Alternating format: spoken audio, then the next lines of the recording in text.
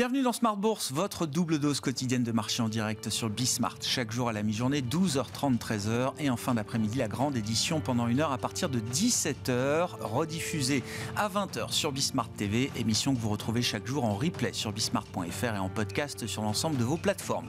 Au sommaire de cette édition de la mi-journée, le fait marquant évidemment des dernières heures, ça reste l'ambiance très lourde sur le front géopolitique avec une série de bombardements russes sur différentes régions et villes ukrainienne et notamment Kiev quelques jours après la destruction du pont reliant la Crimée et la Russie au-dessus du détroit de Kerch. Vladimir Poutine préside aujourd'hui un conseil de sécurité à Moscou. Ambiance lourde donc qui euh, impacte forcément euh, la psychologie des marchés et des investisseurs dans un climat qui reste toujours très volatile avec néanmoins de nouveaux éléments d'information qui vont euh, apparaître pour les investisseurs dans les prochains jours avec le retour de la micro et les premières publications de résultats d'entreprise pour le troisième trimestre. Côté français, on sera attentif au chiffre d'affaires de LVMH qui sera publié demain soir. Et puis côté américain, la saison commencera en douceur en fin de semaine avec notamment la publication des poids lourds du secteur bancaire et financier aux États-Unis avec les grandes banques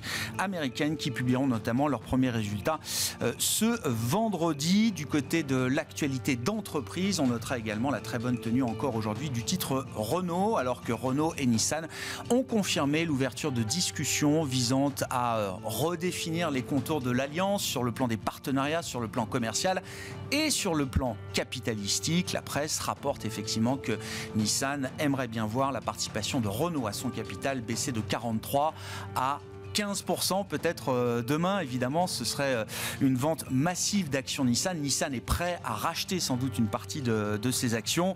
Des discussions ont eu lieu ce week-end au Japon entre les top euh, management de Renault et de Nissan. Et le titre Renault est encore très entouré aujourd'hui, alors que le nouveau patron de Renault, Luca De Meo, présentera son plan stratégique en détail le 8 novembre prochain. Sur le front de la macro et des banques centrales, une semaine qui restera intense avec notamment les réunions annuelles du FMI et de la Banque mondiale à Washington qui vont euh, bien sûr euh, euh, permettre à beaucoup de banquiers centraux et de grands argentiers en général de s'exprimer sur la situation du moment. Une situation qui reste assez claire pour la Réserve fédérale américaine. Hein. quand on voit les chiffres d'emploi publiés vendredi, quand on, voit ce qui nous attend encore du côté de l'inflation américaine pour le mois de septembre, le chiffre sera publié cette semaine. Il y a assez peu de doutes sur l'idée que la Réserve fédérale américaine montera encore ses taux de 75 points de base le 2 novembre prochain. Nous en parlerons euh, dans cette demi-heure avec Frédéric Ducrozet, euh, responsable de la recherche macro de Pictet Wealth Management, qui sera en visioconférence avec nous. Et puis euh, à suivre dans quelques minutes le plan de trading, dans quelques secondes même, le plan de trading de la semaine. Et c'est Romain Debric qui est avec nous aujourd'hui en duplex là aussi, membre de la cellule Info d'experts de Bourse Direct.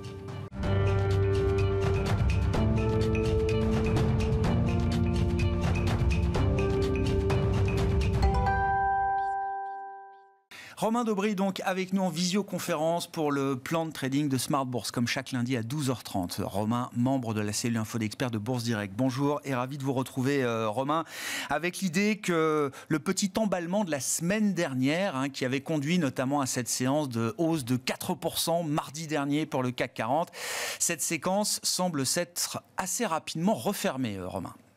Bonjour Grégoire. Euh, ben oui, effectivement, 4%, 4,24% de hausse, mais avec 4 milliards de volume. Donc, euh, pas beaucoup de soutien. Alors, on avait un, signal intéressant, c'est qu'il y avait de la pression haussière depuis plusieurs séances.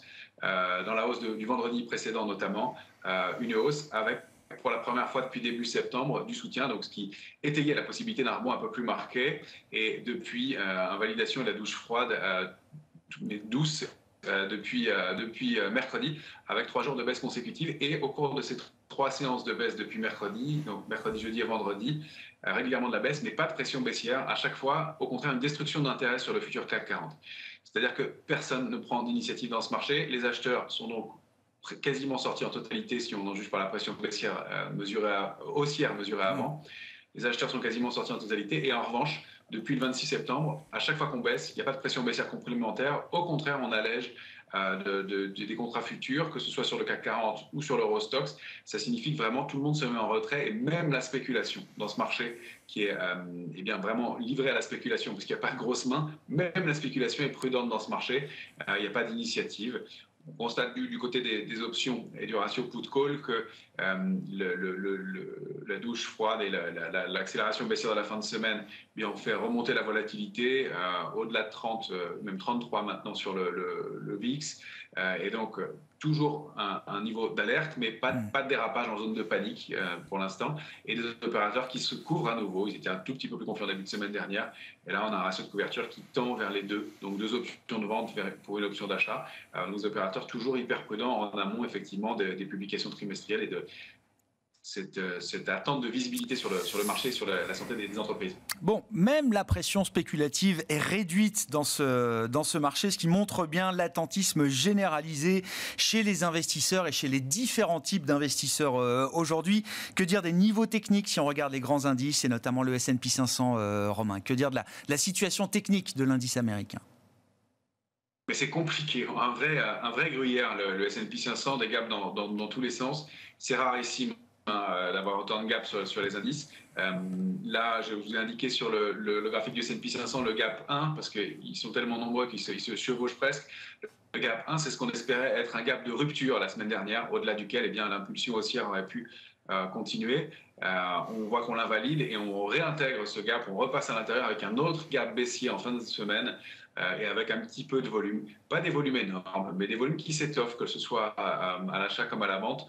Euh, peut-être qu'il y a un, signal de stabilisation, quelque chose qui se met en place. En tout cas, euh, ce qu'on espérait être une impulsion haussière, en tout cas le, début d'un point bas marqué sur les indices, est bien est invalidé. en revanche, on ne repasse pas sous 3634 points on le préserve de façon technique euh, en fin de semaine et on reste établi dans notre trading range précédent, donc 3460 en bas, 3838 en haut. Ça, c'était le, bas du gap précédent, donc toujours euh, ce, jeu de gap, ce qui, encore une fois, sur des indices, c'est rarissime. Hein. Ça, traduit des contre-pieds, ça traduit le fait que des investisseurs aient une psychologie qui change, et une psychologie qui change aussi rapidement, euh, c'est pas normal, mais effectivement, c'est euh, l'absence d'opérateurs qui, entraîne ce, mouvement-là. Donc, trading range, plutôt donc toujours sous une zone d'alerte. On a tenté d'aller neutraliser les choses en fin de semaine, 3810 en résistance.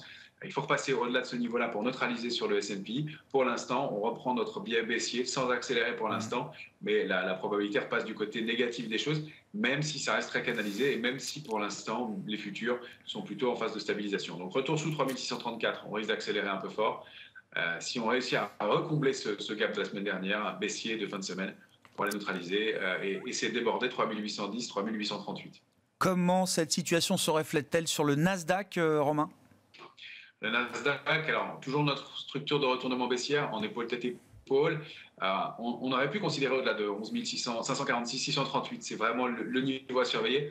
En clôture, au moins, qu'on remette en cause cette tendance baissière. On a fait le maximum du rebond possible dans une structure de retournement comme ça. Si on était allé trop haut, eh bien, on aurait invalidé la figure parce que le pullback, le mouvement d'aller rechercher la ligne de coup de la figure, aurait été trop important. Et là, on a fait le, maximum de rebond pour ensuite invalider. On voit qu'on réintègre le canal baissier de moyen terme. On s'est articulé autour la semaine dernière.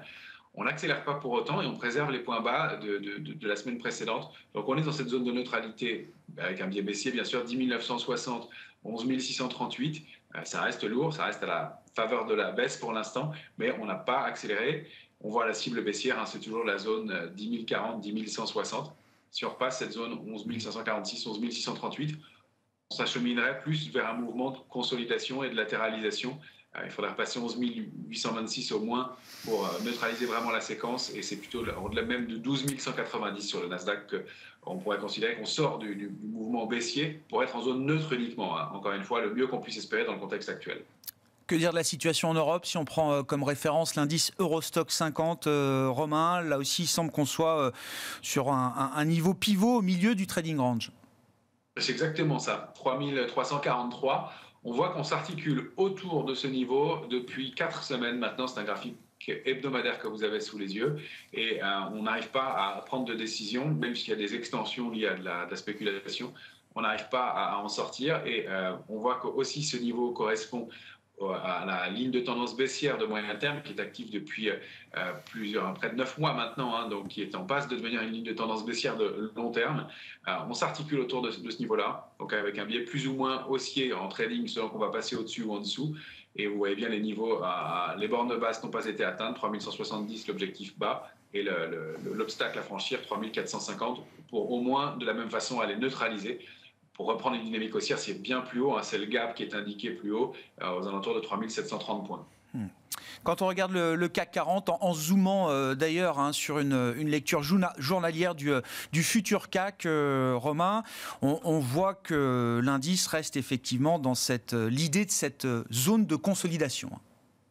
Oui, tout à fait. Et ça va un peu plus, ça va tellement vite que la, photographie date de, la matinée et mm. euh, le CAC 40 est déjà repassé au-dessus de 5832,5, euh, qui était un niveau de résistance important qu'on avait indiqué, qui a été le pied du gap de la semaine dernière et qui est le niveau pivot autour duquel on s'articule ce matin. Euh, on est même allé chercher un, petit peu plus haut. les enjeux, c'est ça c'est d'aller réintégrer la zone 3832-3875 en clôture pour passer dans la zone de consolidation et le haut de la cible qui est 5975, 6056,5. C'est ce qu'on a réussi à aller chercher la semaine dernière. On avait dit 5970, 6040. On a étendu un peu cette zone maintenant. Donc c'est 5975, 6056. Si on réussit à se rétablir là-dedans et au-delà surtout, on repasse en zone de neutralisation de moyen terme et on peut aller chercher le haut du canal baissier, ce serait l'idéal. Maintenant, là, on est dans une zone de flou entre 5739,5 et 5832. Euh, là, c'est une zone où euh, il n'y a pas vraiment de, l'alerte de court terme est sonnée. On n'a pas encore sonné l'alerte de moyen terme qui serait sous 5739 et on n'a pas encore, on, on, est toujours loin de l'alerte de long terme. Donc, on, on est dans une zone de, de, risque, bien entendu, euh, mais qui ne dégénère pas pour l'instant. et, vous le disiez déjà depuis euh, quelques temps, euh, Romain, quand on regarde la composition sectorielle, la hiérarchie sectorielle au sein du CAC ou au sein des, indices européens, il n'y a, plus de secteur fort ou de secteur faible. Enfin, C'est-à-dire que là, aussi, la lecture devient très très compliquée d'un secteur à l'autre. C'est au sein d'un secteur qu'il faut vraiment aller regarder valeur par valeur, comment est-ce que les dynamiques techniques sont euh, sont enclenchés. Et même dans cette logique de stock picking, c'est difficile, avec des arguments techniques, en tout cas, de trouver véritablement des valeurs qui se distinguent. Oui, euh, il n'y en a pas beaucoup qui se distinguent au sein de l'indice parisien. Tout à fait, euh, pas, de, pas, de, logique sectorielle. Et on a quelques valeurs un peu plus fortes si on veut essayer de, de, trouver des éléments un peu positifs dans un marché qui est quand même très plombé. Il n'y a pas de configuration graphique très forte ni haussière. Il y a des valeurs qui surperforment. ça est cette idée que même si on accélérait à la hausse, parce qu'on peut sortir à la hausse de ces, de ces zones de consolidation, on n'a pas de structure forte et il faudra les, les, les, construire. Donc même une accélération haussière serait consolidée par la suite. Donc même si on, crée un peu plus de, de, détente sur ce marché grâce aux publications, qui n'est pas gagné, euh, ça va être difficile. Donc quelques valeurs qui, sont, qui surperforment, il y a Worldline, Essilor ou Legrand, euh, ou Renault encore, parmi les, les, valeurs qui surperforment, qui sont les valeurs un peu plus fortes. Et puis il y a trois ou quatre trois valeurs avec des configurations intéressantes. Il y a Orange qui donne une configuration haussière de court terme avec, ce qu'on appelle une pénétrante haussière qui a été validée euh, vendredi et qui confirme aujourd'hui. Euh, il y a Saint-Gobain qui quand même présente une configuration assez forte de plus long terme cette fois-ci. Il y a une triple divergence haussière de MACD hebdomadaire, donc pour ceux qui veulent regarder les graphiques euh, plus en détail. Ça, c'est une figure forte, ça déclenche souvent des mouvements importants. Elle doit être confirmée, ça n'est pas le cas encore, mais elle est vraiment à, surveiller. Et puis, Schneider Electric aussi est intéressante, même s'il n'y a pas de structure à proprement parler euh, de retournement, on peut distinguer des, petites structures, mais c'est surtout le jeu des volumes qui est à regarder. Quand elle baisse, le volume est moindre, et alors qu'à chaque fois qu'elle remonte, là, il s'est passé quelque chose du côté du volume. Donc il y a de l'accumulation qui est en train de se faire sur ce titre-là, en tout cas, par rapport aux autres. Encore une fois, ce sont des mouvements ténus, mais voilà quelques valeurs qui sortent du lot dans un contexte où euh, on n'a pas grand-chose de, très lisible et très rassurant sur les indices globalement. Un mot rapide pour finir, Romain, de, des matières premières. Alors, des métaux précieux à travers l'once d'or et puis euh, des euh, matières premières pétrolières à travers le Brent. Qu'est-ce qu'on peut dire de ces deux actifs à ce stade, Romain? Alors sur l'or, euh, qu'au moins on, repasse euh, au-delà et autour d'une zone de, validation baissière, donc euh, avec un petit creux en pince formé au cours des, semaines précédentes, et cette zone 1675-1688 qui, est, qui a été débordée la semaine dernière, qui est testée à nouveau cette semaine, un niveau important qui pourra valider ce mouvement baissier. Donc à surveiller sur l'or, sur Euh, pas de signaux forts, mais en tout cas une tendance baissière qui est peut-être en train de se neutraliser et un, niveau qui a été testé depuis longtemps, comme vous le voyez avec toutes les ellipses bleues qui servaient de support depuis quelques temps. Puis du, côté du Brent, eh bien, un mouvement haussier qu'on avait proposé la, semaine dernière avec ce doji porteur d'eau. La semaine dernière, la bougie est nettement haussière et on est allé chercher la cible qui est la ligne de tendance baissière de moyen terme. La première cible, on l'a testée. On consolide un petit peu depuis ce matin, mais on a encore des chances de surveiller et de déborder ce niveau-là pour aller chercher au moins la cible 2 à, 102,90.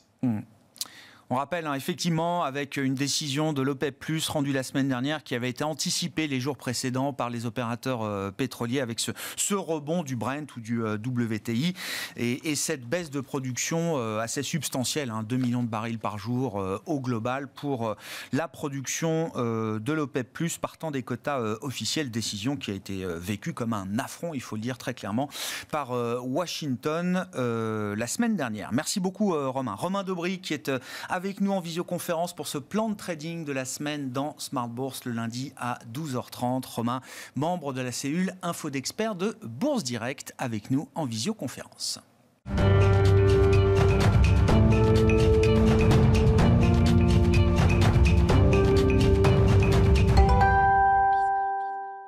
Revenons sur l'actualité macroéconomique, l'actualité des banques centrales et l'actualité géopolitique également qui marque ce début de semaine. Frédéric Ducrozet est avec nous en visioconférence depuis Genève, responsable de la recherche macro de Pictet Wealth Management. Bonjour et bienvenue euh, Frédéric. Un, commentaire effectivement alors sur ce qui apparaît être une nouvelle escalade de tensions euh, entre l'Ukraine et la Russie depuis euh, le bombardement, l'attaque contre le, pont reliant la Crimée et la Russie ce week-end au-delà du, au-dessus du détroit de, de Kerch et donc cette série de bombardements euh, sur différentes villes et régions euh, ukrainiennes, bombardements russes évidemment à l'œuvre depuis euh, plusieurs heures maintenant. Une réunion du Conseil de sécurité est présidée aujourd'hui par Vladimir Poutine côté russe. Quand on regarde la manière dont le marché digère cette escalade, on a malheureusement le sentiment que les investisseurs se sont préparés d'ores et déjà à ce genre de, scénario et, d'augmentation de la tension. Il n'y a malheureusement pas grand-chose à, ajouter ni à faire, de ce point de vue-là, euh, sinon subir la situation. On pense évidemment, euh, y compris sur les marchés de l'énergie, hein, que ce scénario d'un conflit euh, qui dure, qui s'installe dans la durée, qui se durcit également, il est largement dans les prix. on comprend bien que de toute façon, l'hiver sera déjà suffisamment compliqué à, gérer dans un certain nombre de pays. Et je crois qu'au-delà de ça, évidemment, au-delà de la situation dramatique en Ukraine même, euh, pour l'ensemble du continent. Il y, a, quand même deux leçons à tirer récemment. La première, celle de l'unité réaffirmée euh, de tous les membres européens, au-delà même de l'Union européenne. On pourra imaginer bah, qu'un soutien qui, dure hein, pour le moment. Il y avait aussi un scénario peut-être alternatif euh, d'une forme de distanciation vis-à-vis de l'Ukraine parce que ça coûte cher. C'est terrible à dire, mais c'est effectivement un soutien qui a un coût, qui a un coût politique aussi pour un certain nombre de pays. Et je crois que c'est pas le cas. Hein. Cette unité, elle est, réaffirmée.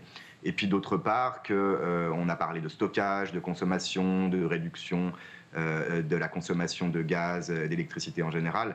C'est vraiment au-delà de l'hiver, le scénario 2023 et des années à venir qui est vraiment le plus important. On construit aujourd'hui, par les décisions qu'on prend, une plus ou moins grande dépendance à cette question énergétique dans les années à venir. Donc je crois que vraiment, bah, au-delà de l'urgence à court terme, se pose cette question du, moyen terme auquel à laquelle l'Europe se, prépare du mieux qu'elle peut. Je pense que voilà ce qu'on peut dire. Effectivement, des investisseurs qui sont confrontés à ces, multiples horizons en matière euh, d'enjeux euh, énergétiques, de souveraineté énergétique, notamment euh, pour l'Europe.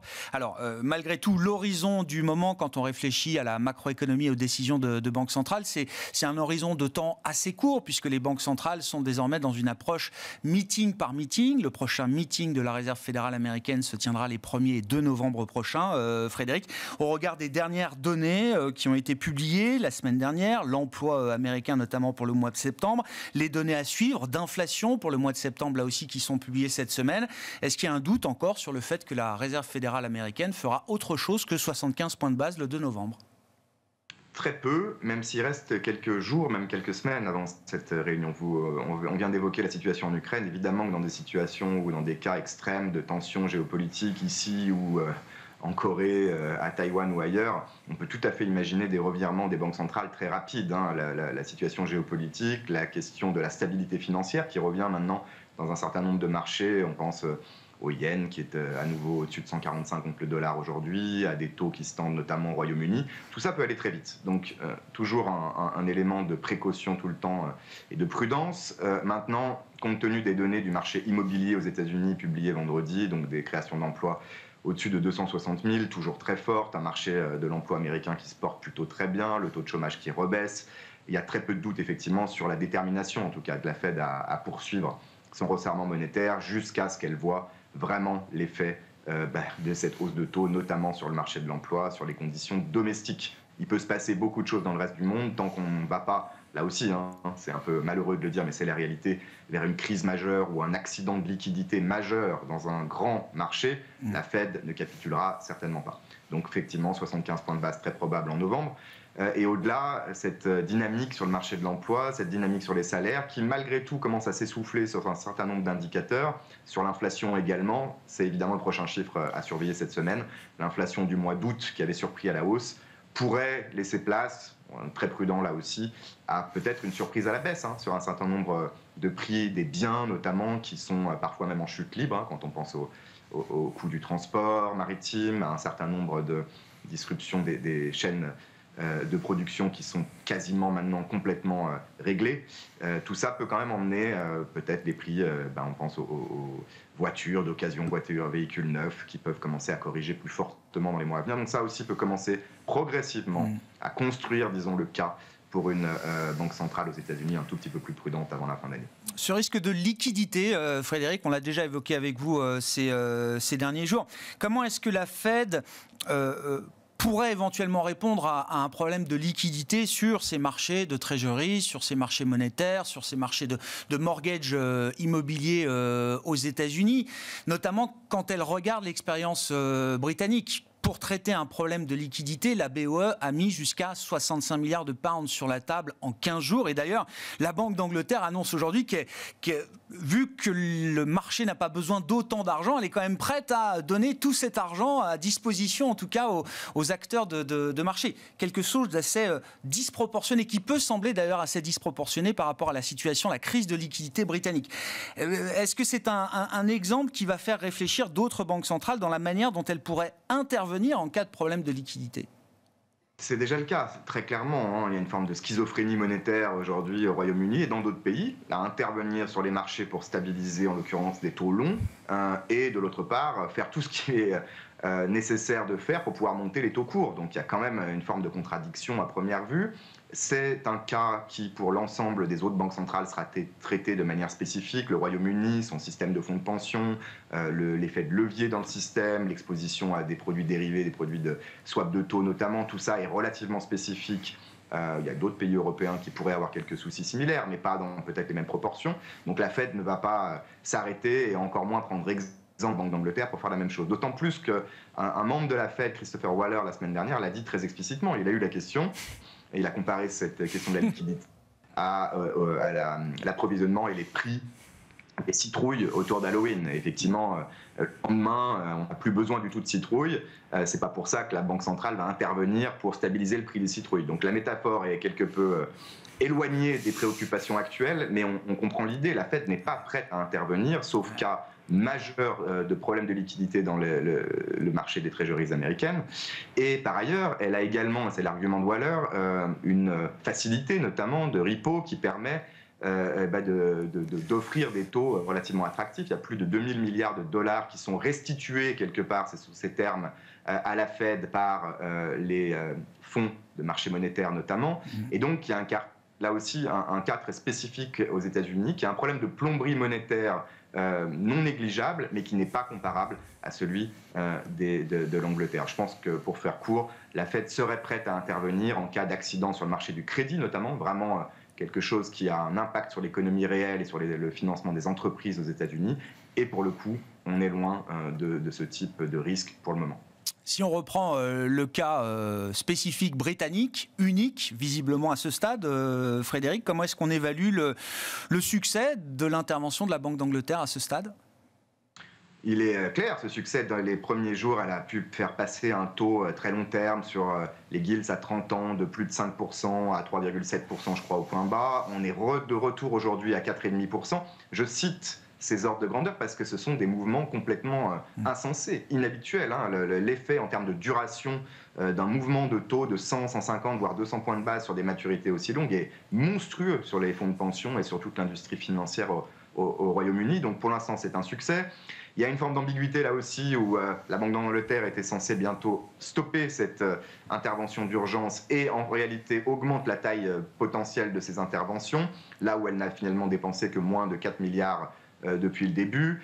Il faut être crédible pour éviter, donc c'est un filet de sécurité pour éviter un accident. Mais je crois que ce qui compte le plus aujourd'hui pour les marchés, ce qui peut permettre vraiment à ce marché de se stabiliser pour de bon, c'est qu'une forme de coordination soit remise en place entre la Banque centrale et le gouvernement. On a deux euh, euh, annonces aujourd'hui. La première, c'est que le budget complet, détaillé, pas le mini-budget, sera cette fois avancé euh, à fin octobre où il était prévu initialement d'être publié courant novembre. Et puis deuxièmement, on sait par le Financial Times aujourd'hui qu'une nomination très importante au Trésor va être vue et on va probablement euh, nommer quelqu'un euh, de l'intérieur, un insider avec une grande expérience au trésor, plutôt que quelqu'un de l'extérieur qui aurait pu euh, peut-être apporter un peu une forme d'exotisme budgétaire que les marchés n'auraient pas apprécié. Je crois que c'est vraiment ça. Les marchés veulent savoir combien le gouvernement va dépenser, c'est aussi simple que ça, et s'il est possible, à quel prix, à quel niveau de taux d'intérêt, d'absorber ces nouvelles émissions du gouvernement euh, dans les mois et les années à venir.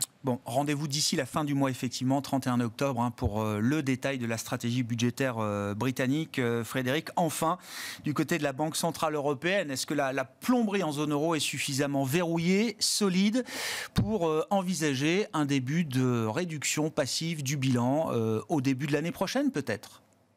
Alors oui et non. La plomberie elle-même va être, je pense, modifiée. il y a une question politique, j'allais dire, parce qu'on transfère à nouveau des montants importants aux, banques commerciales, ce qui est normal quand on monte les taux d'intérêt, puisque la BCE traditionnellement rémunère les dépôts des banques commerciales auprès d'elle, et il n'y a rien d'anormal là-dedans, mais compte tenu du niveau de liquidité dans le système, plus de 4500 milliards d'euros, ce sont des montants considérables, et on imagine et on comprend, d'après les dernières rumeurs, que la BCE réfléchit à peut-être une forme de réduction, de limitation de ces transferts euh, aux banques. Ça, c'est côté plomberie, mais côté euh, marché de la dette, plus au sens large, si la BCE commence à réduire son bilan, il peut y avoir des effets de contagion au marché de la dette périphérique, en Italie notamment, et on est évidemment tout le temps dans un équilibre pour l'instant encore précaire, avant même de savoir vraiment et de connaître toutes les intentions du gouvernement en Italie. Donc je pense de ce point de vue-là, on a su la semaine dernière que la BCE n'était pas intervenue sur mm. les deux derniers mois, avec la flexibilité des réinvestissements du PEP, hein, un, élément plus technique qu'elle peut mm. d'ores et déjà utiliser. Elle ne l'a pas utilisé. Le focus est vraiment sur son outil anti-fragmentation.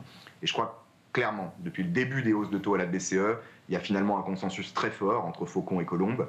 On veut monter les taux directeurs, si possible à 2%, qui est à peu près le, haut du, niveau neutre selon les estimations. Pour faire ça, ne prenons pas de risques inutiles, entre guillemets sur le bilan. Et euh, Klaas Knot l'a dit aujourd'hui, le gouverneur euh, néerlandais. Il y aura probablement au moins deux réunions avant que la BCE commence à penser à commencer à réduire son bilan.